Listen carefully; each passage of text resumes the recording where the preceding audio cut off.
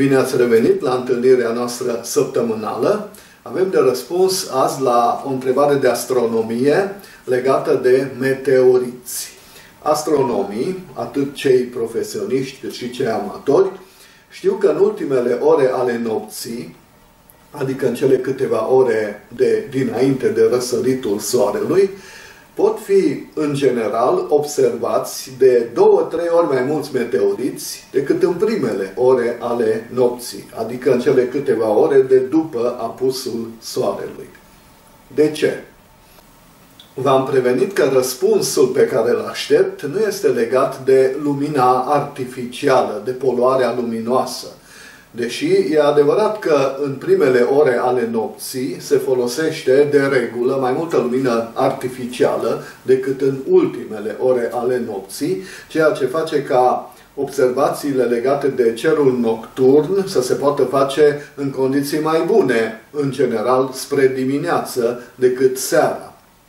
Dar nu despre asta este vorba. Așa cum v-am spus, chiar în condiții identice de observare, în a doua jumătate a nopții pot fi văzuți de două, trei ori mai mulți meteoriți decât în prima jumătate de noapte.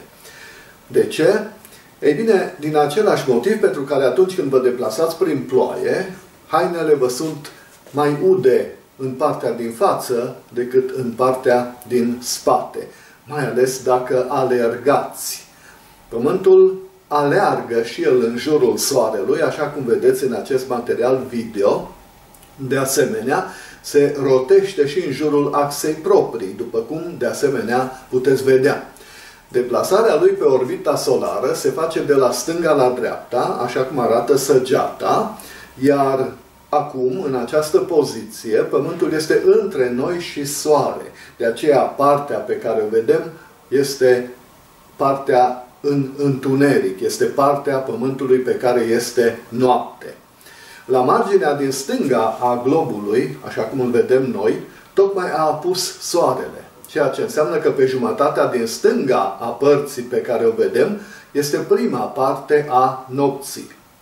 La marginea din dreapta a globului urmează să răsară soarele, deci pe jumătatea din dreapta este a doua parte a nopții.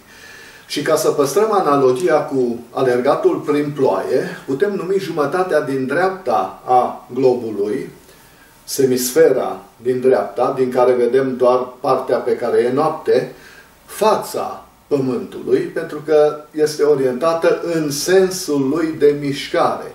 Și atunci jumătatea din stânga a globului, din care de asemenea vedem doar partea pe care e noapte, o putem numi spatele lui, pentru că este orientată în sens opus față de direcția de mișcare.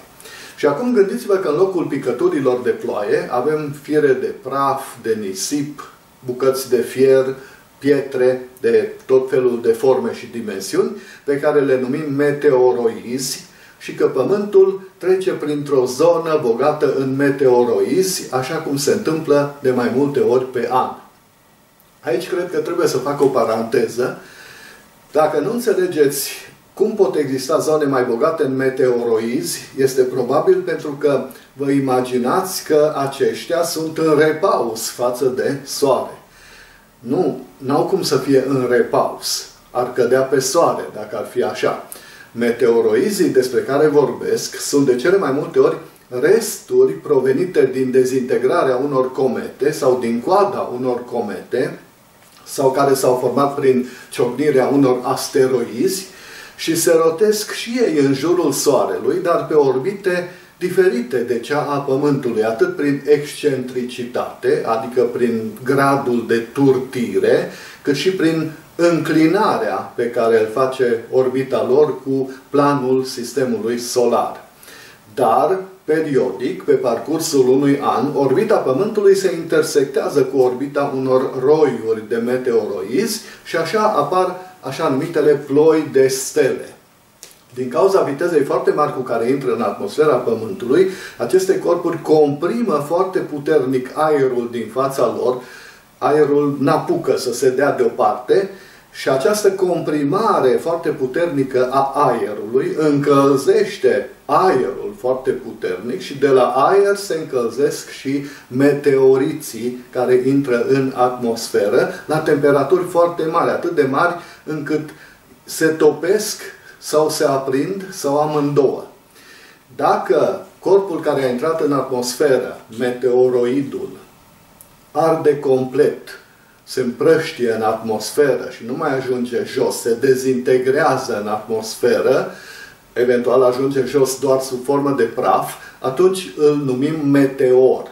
Iar dacă cel puțin o bucată din el ajunge până jos, lovește suprafața Pământului, atunci îl numim meteorit.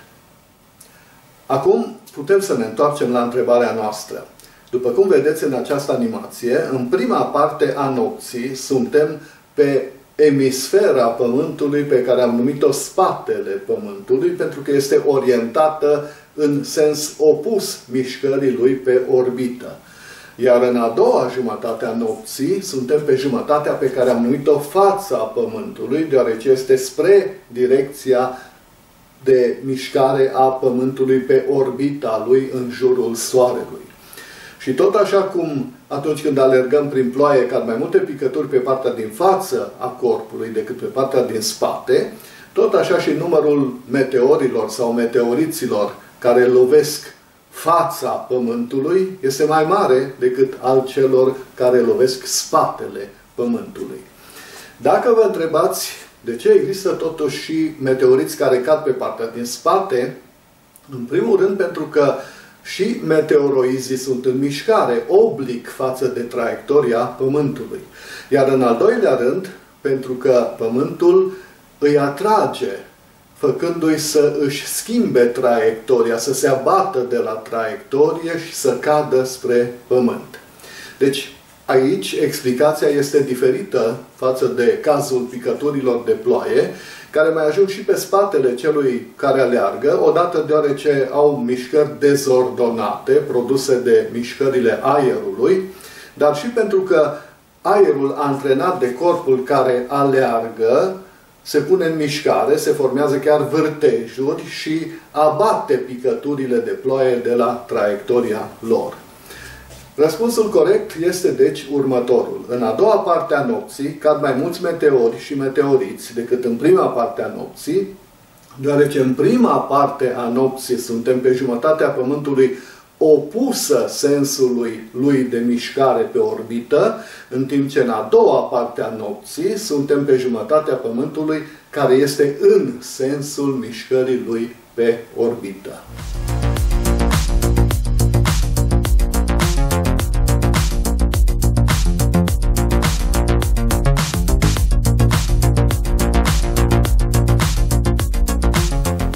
Acum câteva zile, trecând în revistă întrebările pe care vi le-am pus până acum, 160 la număr, am observat că lipsește ceva. Și anume, deși există multe întrebări și probleme de logică, de gândire legate de calendar, eu nu v-am pus încă niciuna.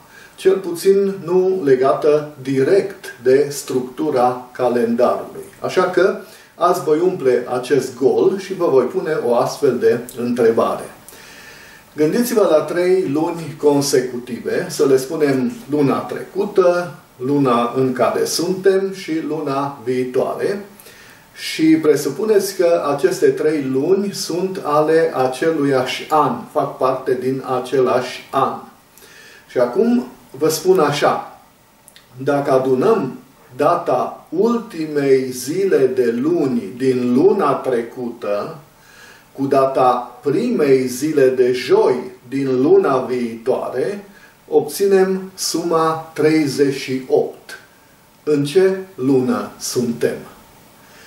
O scurtă paranteză și aici. Acum când vă pun întrebarea, e luna decembrie. Și poate unii vor crede că problema nu are soluție și că e vorba de o șmecherie. Și anume că răspunsul este, suntem în luna decembrie. Sper însă că cei mai mulți ați observat că acest canal nu are nicio legătură cu șmecheria. Și asta pentru că șmecheria, contrar părerii multora, este o formă negativă a inteligenței. Adică Ea rezolvă lucrurile așa cum le rezolvă și minciuna, doar aparent și pe termen scurt. De aceea, părinții n-ar trebui să fie mândri de tendința multor copii de a fi șmecheri și mai ales n-ar trebui să o încurajeze. Din potrivă, ar trebui să fie îngrijorați și să o descurajeze. Dar poate voi vorbi despre asta în alt material. Deocamdată, repet, scurta întrebare de azi. Dacă adunăm data ultimei zile de luni din luna trecută cu data primei zile de joi din luna viitoare, obținem numărul 38. În ce lună suntem? Succes pe săptămâna viitoare!